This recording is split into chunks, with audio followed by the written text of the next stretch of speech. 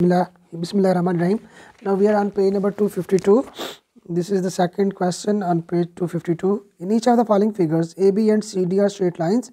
Find the unknown marked angles and explain your answers. Number A. AB and CD are straight lines.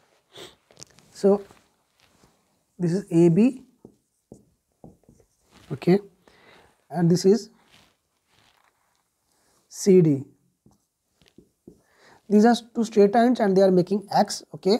So we can say that this angle which is unknown is x is equal to this one because these two are vertically opposite from here to here okay?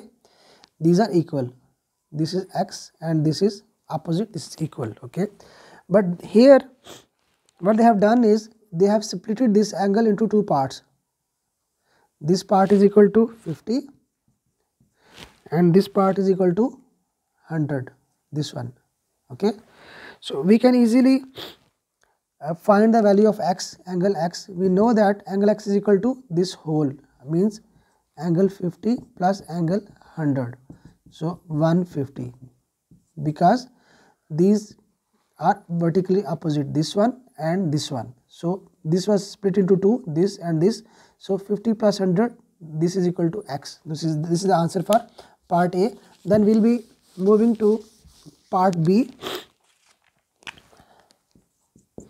In part b we have this one is ab and this one is cd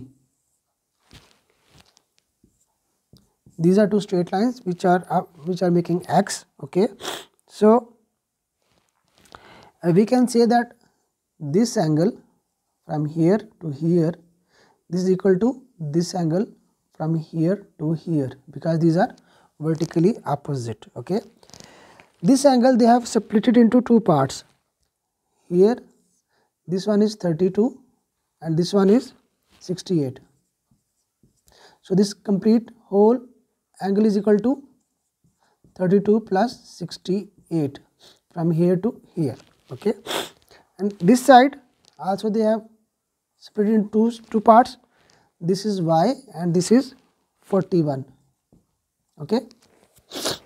So this whole angle is equal to y plus 41 this is equal to y plus 41 so we told you that this whole angle is equal to this whole angle so it is equal to y plus 41 we add these two it becomes 100 is equal to y plus 41 we need y so it will be going to other side it becomes minus it is here it is positive it becomes y is equal to 100 minus 41 100 minus 41